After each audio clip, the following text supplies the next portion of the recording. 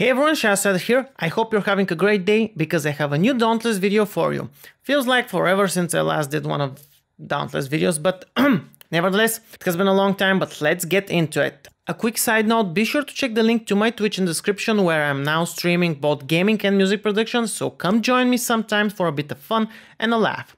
Dauntless is getting a big update to its loadout menus. This update is expected to hit around mid-March, most likely next week on the 13th of March, unless something delays it. The update will be a major overhaul for the current loadout system by putting all of your weapons, armor and consumables in one place.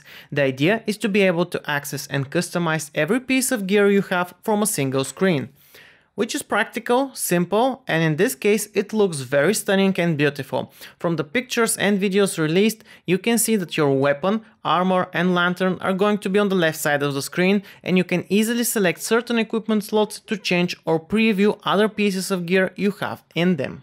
On the right side, you have your new perk summary, which will display all of the currently equipped perks you have, their levels, and the bonuses you get. Under your gear, you can also see every equipped perk you currently have, which also updates dynamically as you change either gear or cells.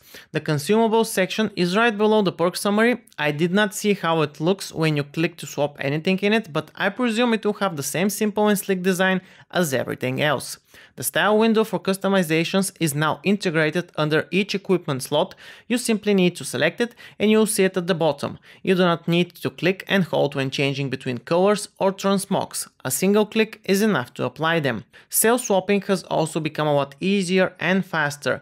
It no longer requires you to even leave the loadout screen or anything else. You simply scroll through your available cells and slot what you want wherever you want.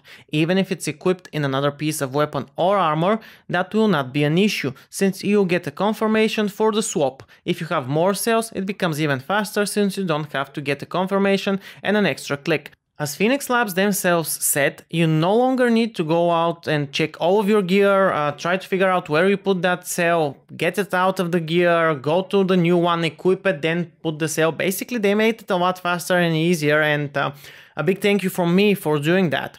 Overall, the new system looks and feels very simple, fluid, optimized and refined. I definitely like the looks of it and the idea of simplicity behind it. You should be spending less time changing and swapping gear and more time slaying behemoths. What I really would have also liked to see was the addition of sets or armor loadouts to make it even faster to switch between different combinations of both cells and armors. I do hope they add that soon, since it will fit nicely with this new design and looks.